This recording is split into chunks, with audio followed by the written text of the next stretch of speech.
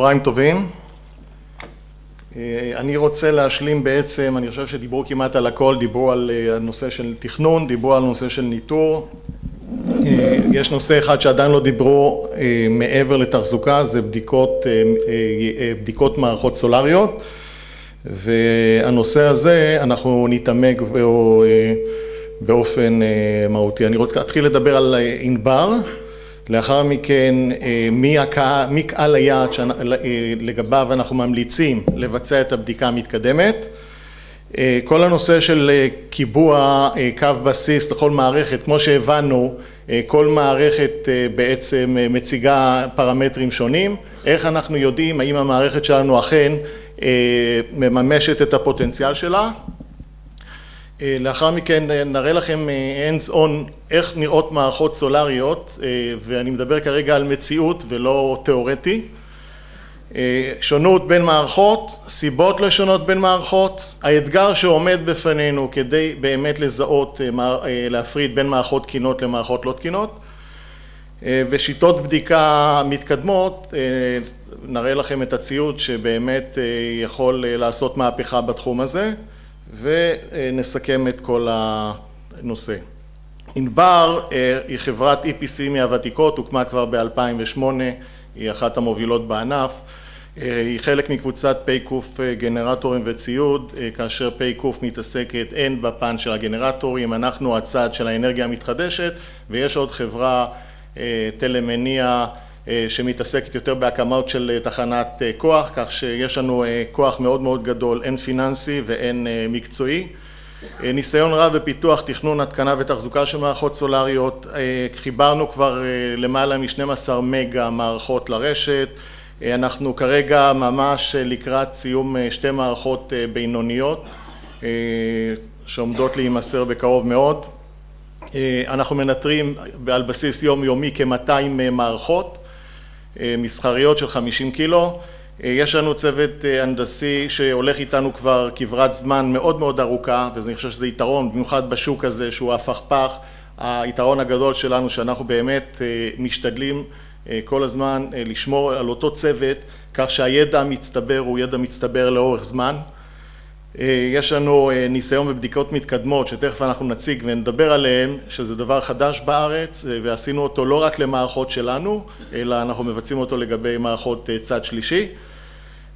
יש לנו כמובן שיתוף פעולה עם חברות EPC בינלאומיות כאשר יש נושאים חדשים שעולים על הפרק, אנחנו מאלה שמאמינים שתמיד אפשר ללמוד כדי לקצר לוחות זמנים ולהגיע למטרה בצורה הקצרה ביותר והטובה ביותר וכמובן שיש לנו יכולות מלאות in-house באמצעות צוותים מנוסים, זה גם חלק בוא נאמר המוטו שלנו, זה כן להיעזר בנאמר קבלני חוץ אבל תמיד יש לנו את הצוותים שלנו שהם בעצם קובעים ומציבים את הסטנדרטים הנכונים והראויים ובצורה כזאת גם העבודה של הקבלנים שלנו מתיישרת לפי אותם סטנדרטים, לפי אותו תו"ל.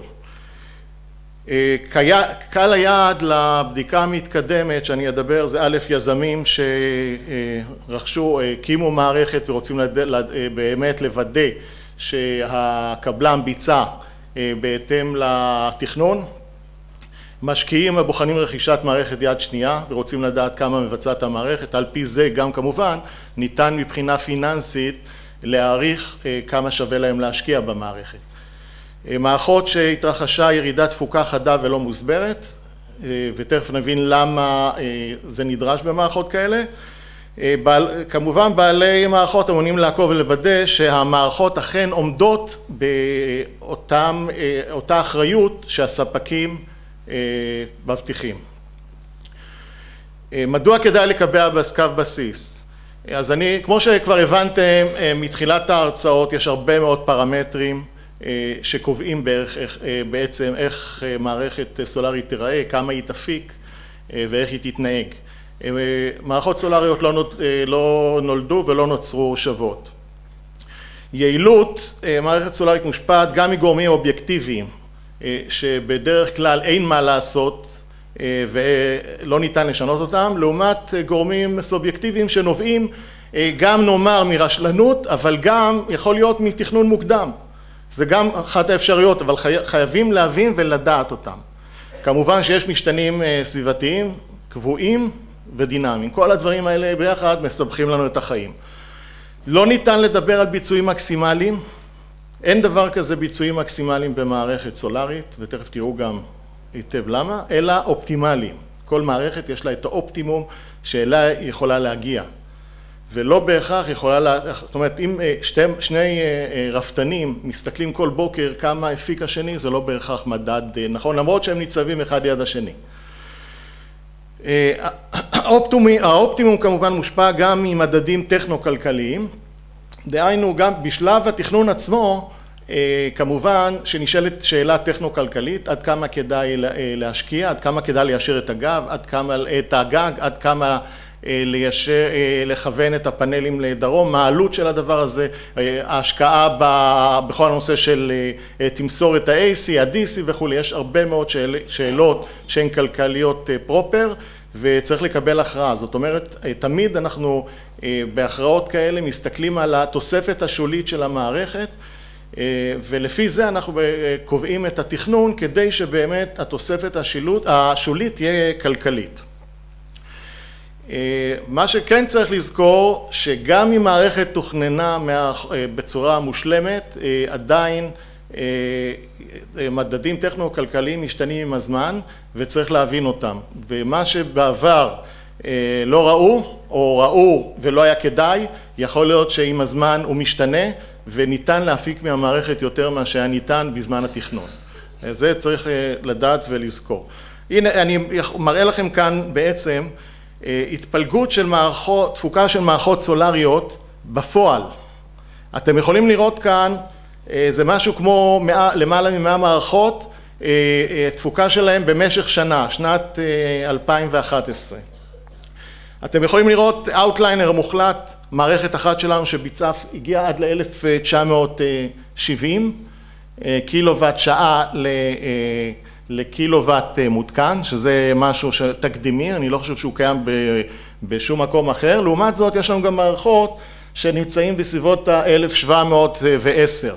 עכשיו כמובן שאנחנו כל הזמן מסתכלים על המערכת הטובה ומנסים לחקות אותה ולנסות לחקות אותה במקומות אחרים ולא, מתברר שלא ניתן לקחת ולהעתיק אותה as is, זאת אומרת אנחנו לומדים, היא פשוט, כל הנתונים במקרה הזה התיישרו לפי הנדרש וזה הכל, חלק מזה זה אילוצים. עכשיו לבוא ולומר שהמערכת שמפיקה בסביבות ה-1725 היא לא מערכת טובה, אני אומר לכם שהיא מערכת טובה. היא מערכת שהיא אופטימלית, זה האופטימום שלה. וזה אחד הדברים שאנחנו כל הזמן בודקים. חלק מהשירות שאנחנו נותנים זה כל הזמן לעקוב אחרי התנהגות המערכות ולנסות למקם כאלה שמתחילות להיראות לנו קצת חורגות. ואני אומר לכם שכל המערכות בתחום הנמוך נבדקות כל הזמן כדי לזהות שהבעיות הן לא באמת בעיות סובייקטיביות. עכשיו אני אראה לכם עוד התפלגות מעניינת, זו התפלגות אזורית, זאת אומרת לקחנו את אותה קבוצה, לקחנו אזור מסוים בארץ ואנחנו ניסינו לראות מה קורה שם. האם יש הבדלים, האם עצם העובדה שהמערכות האלה קרובות אחת לשנייה, המערכות הסולריות מתנהגות באופן שונה. ואם אתם שמים לב, תסתכלו כאן, אזורית ארצית, מעבר לכמות הן מתנהגות כמעט אותו דבר. זאת אומרת שאפילו תנאי הסביבה אין להם השפעה כל כך גדולה, זאת אומרת גם כשאתה מתכווץ לאזור מסוים עדיין קיימת איזושהי התפלגות ודרך אגב אם מסתכלים על זה מבחינה סטטיסטית זו התפלגות נורמלית, לא כאן, לא ניתן לראות את זה כך, צריך להסתכל מהציר, מציר Y ואז זו התפלגות נורמלית, זאת אומרת שיש כאן דברים אקראיים שלא ניתנים לשליטה. זאת דרך אגב מערכת אחת בודדה בחודש יוני 2011 ותראו את השינויים היומיים, זאת אומרת אפילו ברמה היומיומית אתה לא יכול לדבר על מערכת שהיא צריכה להיות, להתנהג כך או להתנהג אחרת, זה לא דבר שאתה יכול לצפות אותו ברמה המדויקת. אם אנחנו מסתכלים על השונות משנת 2011 הממוצע שלנו לפחות במערכות שהראיתי לכם זה היה 1.775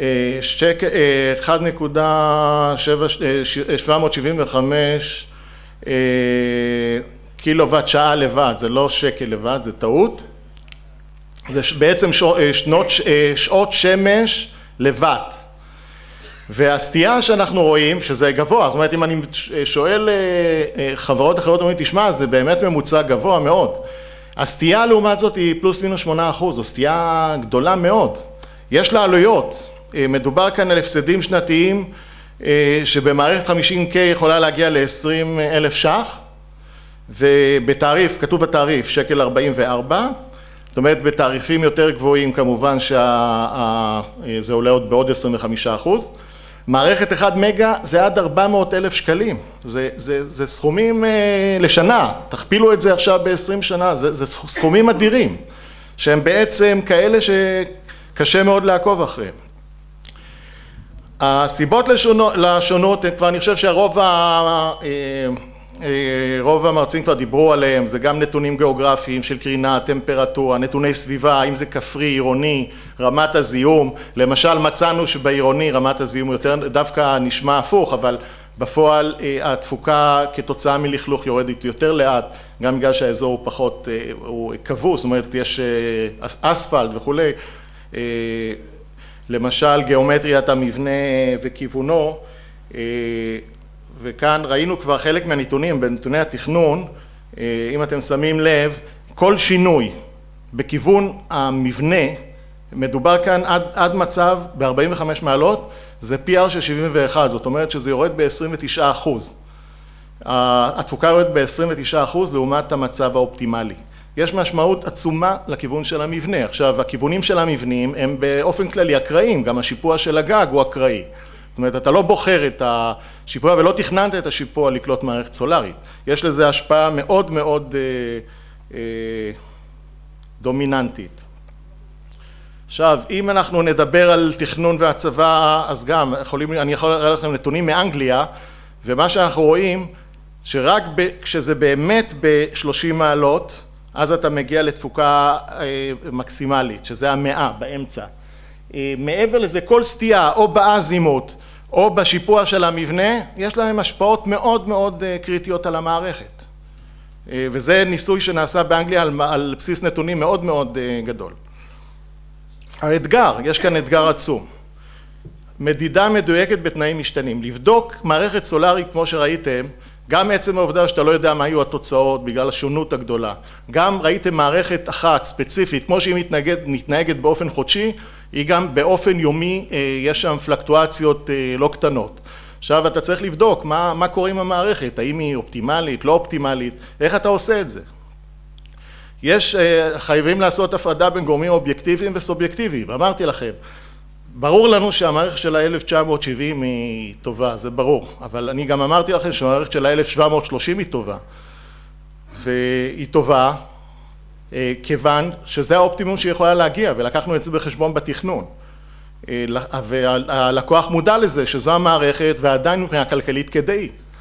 אני אתן לכם דוגמה, היה לנו, אני חושב שגיל נמצא כאן בירושלים, היה לנו, הייתה לנו גם התלבטות על גג מסוים, על גג שטוח בדרך כלל אתם יכולים להגיע באמת לאזימוט ולשיפועים אידיאליים, אבל אם אתה עושה את זה על חלק מהגגות בגלל הכיווניות שלהם היכולת שלך להכניס או יותר תפוקה לגג פוחתת, במיוחד כשהגג לא בכיוונים הנכונים. עכשיו יש כאן התלבטות, האם להשיג תפוקה לבד יותר גדולה או להשיג יותר הספק טוטאלי וחישובים כלכליים הראו לנו שבהחלט עדיף להכניס יותר הספק אבל אז ההספק פר ואט כשלוקחים אותו כמדד הוא לא מדד אמיתי אלא אם כן אתה לוקח את השיקולים הסובייקטיביים ומכניס אותם לתוך הנוסחה. והאתגר, לכן האתגר הוא באמת גדול להבחין מהי מערכת טובה ומערכת לא טובה כי בתוך הבליל של המערכות והתפוקות שלהם אתם בקלות יכולים לפספס מערכת שלמרות שהיא נאמר 1800 אבל היא הייתה יכולה להיות 1900 והגענו גם למערכות כאלה. וכמובן בסופו של דבר אחרי התהליך החוכמה היא לומר האם באמת המערכת מממשת את הפוטנציאל, לא מממשת ואיך ניתן לממש תחת התנאים הטכנו-כלכליים הקיימים. זאת אומרת כאן אני כמובן לא מדבר על תקלות מהותיות שניתן לראות אותן במערכת הניטור, אלא מדובר כאן במערכות שסך הכל אם מישהו מסתכל, צד שלישי מסתכל, הוא יכול בהחלט לחשוב שהמערכת היא תקינה. אז הבדיקה העיקרית היא נעשית בצורה מאוד מאוד מתוחכמת, מדובר על בדיקה הוליסטית, הבדיקה ההוליסטית הזאת בגדול מקיפה את כל הקצוות של המערכת, החל מתא סולארי שהוא תא רפרנס מקוייל, שהוא מקוייל בסטנדרטים של פלוס מינוס שלושה אחוז, זאת אומרת אנחנו יודעים בדיוק מה הקרינה באותה רגע של הבדיקה, התא הזה מורכב על אותו גג הנבדק באותה זווית או בזווית אחרת מהתאים הסולאריים, תלוי איזה בדיקה אנחנו מבצעים, כמובן שאנחנו מחברים מה טמפרטורת סביבה גם מה טמפרטורת סביבה על הגג פלוס מה טמפרטורה מאחורי הפאנל, במקביל אנחנו מבצעים בדיקה בכניסה לממירים בכיוון ה-DC על ידי צוותות זרם וביציאה מהממירים על החלק של ה-AC, עכשיו כל הבדיקה הזאת נכנסת למכשיר מרכזי, אנחנו את הבדיקה הזאת מבצעים במשך ארבע שעות בדרך כלל שבה השמש מרבית זה שעתיים לפני אמצע היום ושעתיים אחרי, כל הנתונים האלה נכנסים לתוך מחשב כמובן כדי שנוכל בתהליך יותר מאוחר לעבד, לעבד את הנתונים ובאופן כזה הוא נותן לנו תמונה מלאה על כל חלקי המערכת והיכן קיימים הפסדים ומה הסיבות. במקביל אנחנו כמובן עושים בדיקות mismatch ברמת ה string, ברמת הפאנלים, דיברו על זה כבר, זה אחד הנושאים הכאובים, פאנלים שהם לא בעצם יש להם עפיצות מסוימת, כידוע מי שקובע את ספק ה string הוא הפאנל, לצערנו הפאנל החלש ביותר, באופן כזה אנחנו יכולים לדעת האם במערכת הזאת באמת יש קיים חוסר איזון ומה ניתן לעשות, כאן אנחנו יכולים לעשות את זה גם ברמת פאנל בודד, אם אנחנו ב string זיהינו שהוא מאוד חלש יחסית, אפילו באחוזים בודדים, אנחנו יכולים להגיע עד לפאנל בודד כדי לזהות אותו, לבודד אותו ולהבין מה קורה איתו. כאן אתם רואים, זו התוצאה של הבדיקה, ממש רואים את העקומה של הפאנל, לפי העקומה הזאת אנחנו מזהים אכן האם הפאנל הספציפי מתפקד כמו שהוא נדרש לתפקד. עוד נושא שהוא מאוד tricky זה נצילות ממירים, לבדוק נצילות ממירים מי שמנסה באמצעים קונבנציונליים זה כמעט בלתי אפשרי, זה בגלל ה tracking כמובן כל הזמן הדברים משתנים גם בכניסה וגם ביציאה ואתה גם לא יודע, יש כאן עוד בעיה, התחכום של הממירים של ימינו יש להם גם תכונה מאוד טובה בסופו של דבר שהם יודעים לזהות כשההספק עליהם מגיע לרמות מאוד גבוהות שיכולים בעצם לפגוע בממיר, מה שהם עושים הם פשוט מוציאים את נקודת העבודה הגבוהה ביותר של הפאנלים ובצורה כזאת הם מורידים הספק כדי למנוע מצב של תקלה בממירים, כמובן שממיר שעובד בתנאים האלה זה בזבוז הספק אדיר ללקוח, קשה מאוד לבדוק את הדברים האלה, הדרך היחידה זה לייצב את הממיר, אם מייצבים את הממיר אז זה אומר גם שהוא לא עובד באופן שהוא צריך לעבוד. מה שאנחנו עושים בעצם עם האמצעים שלנו, אנחנו רק מחברים את הכניסות והיציאות ובו זמנית אנחנו גם בודקים את הפאנלים לוודא שאכן העקומה, עקומת הפאנל היא בנקודת ה-MPP המקסימלית כי אחרת בעצם אנחנו לא יודעים אכן אם הממיר הוא בנצילות מקסימלית או לא. דברים נוספים שאנחנו עושים כמובן בבדיקה הזאת זה בדיקה טרמית, הבדיקה הטרמית היא נושא מאוד מאוד חשוב גם לזהות תקלות וגם לזהות כתחזוקה הייתי אומר מונעת כדי למנוע תקלות בעתיד, הנה דוגמה על מערכת שעשינו עליה בדיקה וגילינו שאחד הסטרינגים באמת חלש, על ידי צילום הפאנל אתם רואים שם את הנקודה אתם רואים שם את הנקודה החמה, דבר כזה, דבר כזה, יש לי עוד, לא? זהו, אז אני כבר אסכם. נקודה כזאת, כמו שאתם רואים, היא לא רוורסבילית, היא יכולה לפגוע בפאנל, ובעצם פאנל כזה שהולך לאיבוד לא נעים, והוא גם יכול לפגוע כמובן בפאנלים אחרים על ה... ב string, מעבר לאובדן התפוקה הזמני, זאת אומרת בטווח הארוך אנחנו מניחים שתוך חצי שנה הפאנל הזה כבר לא יתפקד יותר. זו דוגמה אחרת ללוחות חשמל, זה לוח חשמל שביצענו צילום, אתם רואים את הצד הימני, הוא מגיע כמעט לתשעים מעלות, זו שריפה כמעט, זאת אומרת זה, זה, אין כאן חוכמות, זה תוך דבר כזה אם לא היינו מזהים בזמן, דבר כזה זה פריצת שריפה וכמובן מעבר להפסדי תפוקות זה הפסדים של רכיבים ומערכת. בסופו של דבר כל התוצאות של הבדיקות נכנסות לתוך מערך הנתונים שלנו, שם האנליסטים שלנו מבצעים בדיקות, יכולים להשוות ברמה של שנייה מה קורה, מקבלים כמובן, כמובן את התפוקות האגרגטיביות ויכולים לקבע את הקו, את קו הבסיס של המערכת. עכשיו זה לא, לא, אני לא מדבר כאן על PR, PR הוא תיאורטי, להשתמש ב-PVC זה יפה מאוד אבל הוא תיאורטי, הוא מקבע את קו המינימום, הוא לא מקבע, מקבע באמת את הקו האמיתי של המערכת, הוא גם לא בודק את האופטימום, הוא איזושהי נקודה שבאמת מתחתיה אתה מבצע ניתוח כלכלי והכל בסדר, אבל הוא לא נותן לך איזשהו מדד שאכן המערכת שלך יכולה לתת תוצאות הרבה יותר טובות מבחינה כלכלית.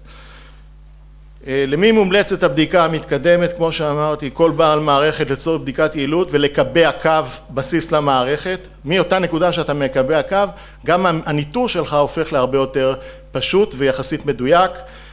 ביקורת קבלה של מערכת חדשה, משקיעים הבוחנים רכישת מערכת יד שנייה, מערכות בהם התרחשה ירידת תפוקה חדה ולא מוסברת וכמובן זה לאחר שיש קיבוע של קו בסיס ומערכות שהפיקו פחות מ-1.75 קילוואט שעה לוואט בשנת 2011. למה אני אומר מציין 2011? כי 2011 אנחנו יודעים שהייתה יחסית שנה טובה לחקלאות מה שנקרא. זהו, זה תקראו כבר שנייה, זה ההמלצות שלנו מבחינת תחזוקת מערכת ולהבטיח שאכן המערכת שלכם תיתן את התוצאות הטובות ביותר. Super.